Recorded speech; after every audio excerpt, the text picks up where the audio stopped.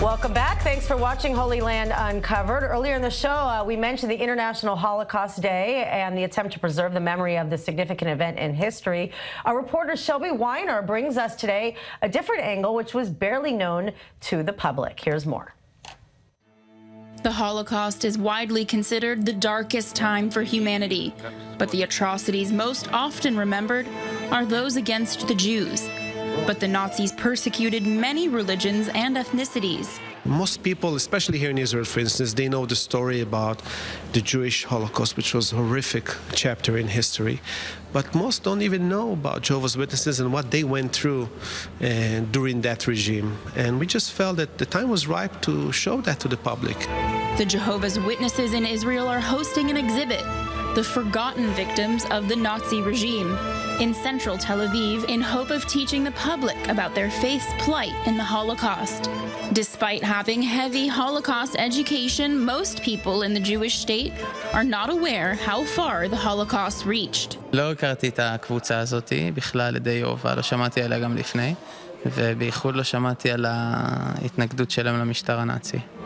And historians say this is an important step for Holocaust research and that it opens new doors of understanding to Hitler and his regime. In the recent years, we are more and more aware of the fact that there were other groups of people who were tortured, imprisoned, dehumanized.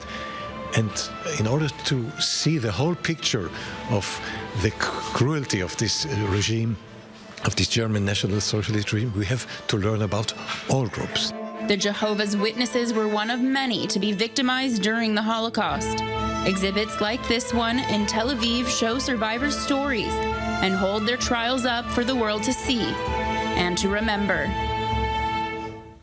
All right, joining us uh, now is uh, Robert from Jehovah's Witnesses Israel. Hello and welcome to the show. Hello, good evening. I find it so shocking that, that we really don't know much about the plight of the Jehovah's Witnesses during the Holocaust. I mean, it was it was quite prevalent. There were what was how how involved were the Jehovah's Witness population in Europe at the time of you know the Holocaust and World War II? Yes, well, uh, some sources say that Jehovah's Witnesses were the first hit by the Nazis and they were hit the hardest.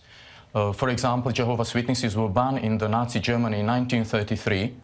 And after that, immediately their property was confiscated. They were experiencing beatings. Their children were taken from their families then they were sent to prisons and concentration camps. Many of them were even executed. Wow. What was the reason that they were that they were targeted?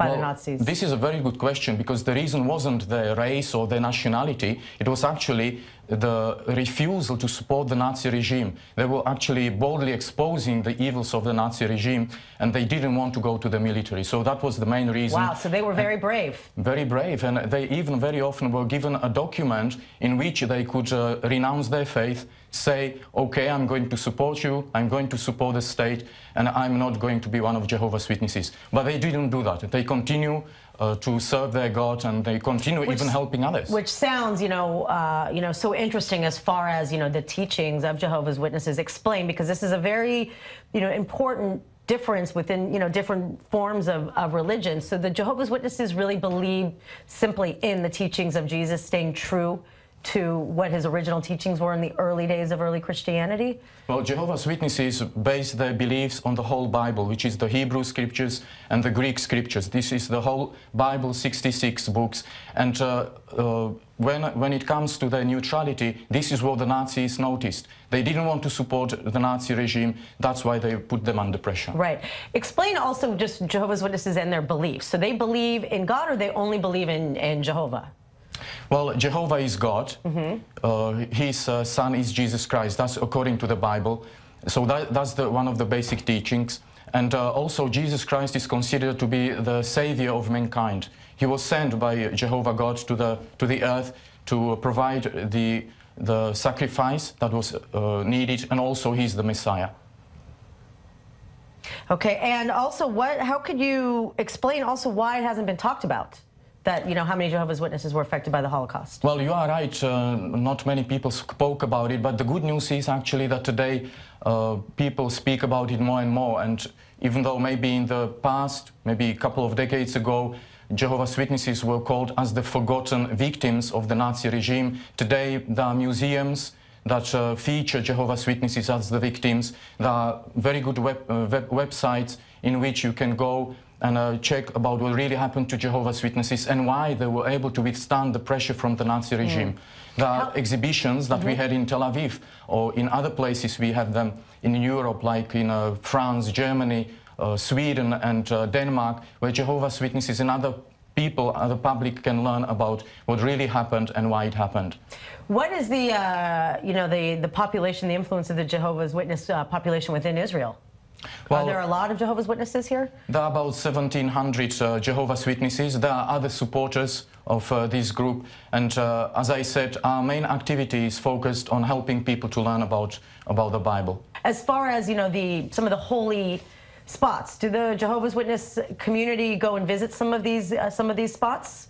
We don't have any special places that we would visit to worship God. God is, uh, God is, uh, He can see us everywhere, so we can worship Him wherever we are. And actually, if we go back to the subject of Nazi era, this is what uh, Jehovah's Witnesses always remembered. No matter where they found themselves, in prison, in concentration camp, or somewhere else, they knew their God hears them, He would be able to support them and give them the needed And what do you have to say about, you know, there's been a lot of, you know, criticism, there's controversy in general, and, you know, Russia's banning Jehovah's Witnesses. What's your, your response to some of these decisions? Well, uh, it is sad that some decisions of that nature uh, are, are made, but you know, uh, there is a very ni- nice Latin proverb which says, Historia magistra vitae. We can learn a lot from the history. Uh, if you look at the history, you will see that totalitarian governments always suppressed minority groups, and this is what Jehovah's Witnesses are. But if you look at democratic countries, you will notice that uh, uh, the governments in democratic uh, nations not only respect the right of Jehovah's Witnesses to worship, but also they would uh, give them some praise for good conduct and nice contribution to the society. And as far as the situation in Russia, I mean, are have they have the Jehovah's Witnesses have to go kind of underground, or do many of them have to, you know, are they fleeing? Well, perhaps some of them were leaving the country. I don't have all the facts because this is a completely different topic. Yeah. But still, uh, I know that uh, most or the vast majority of Jehovah's Witnesses continue to serve Jehovah God as they can. Okay, well, thank you very, very much for coming in and explaining a very, a very interesting story and piece of history. Thank you very much, and uh, we will be right back after the break. Stay tuned.